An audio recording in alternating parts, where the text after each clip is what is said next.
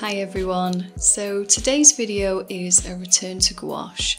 I've been wanting to combine watercolours and gouache in one piece for a while now, as I think the mediums look really great together.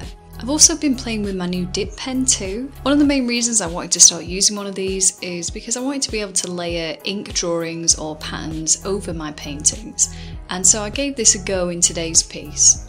I think the oddest part of using these pens is even when on a relatively smooth surface, you can feel the scratch of the nib on the paper.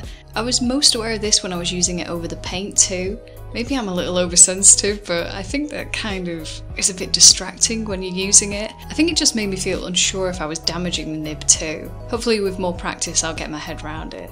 I decided to paint a crow today because there's a crow living on the rooftop of the house opposite my studio since I've moved in, and he's always catching my eye because I'm really easily distracted.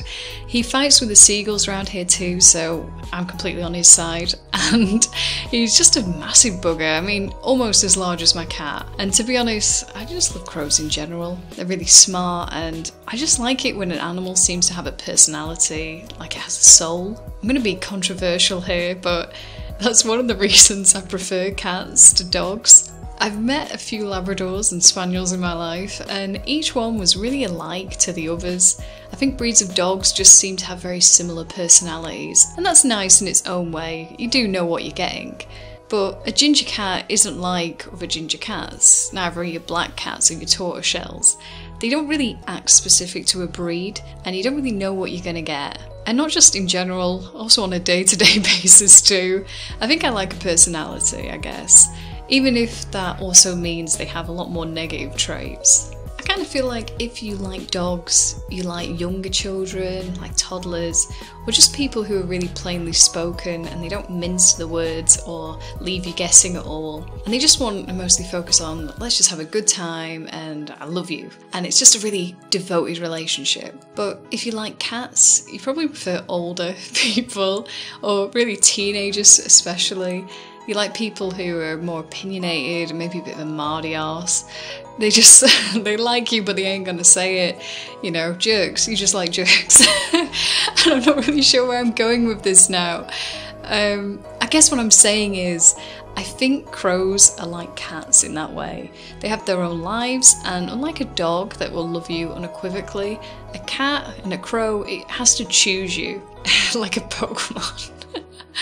Crows only really care about you if you benefit them in some way, because they actually think and act independently of you.